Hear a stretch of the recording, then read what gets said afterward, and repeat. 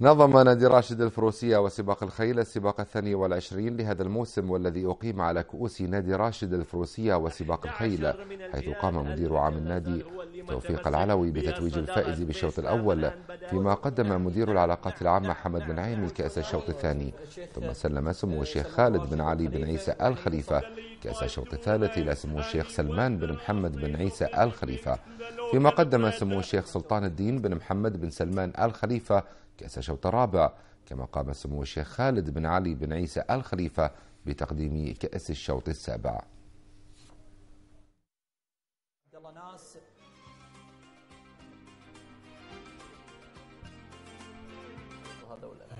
قال من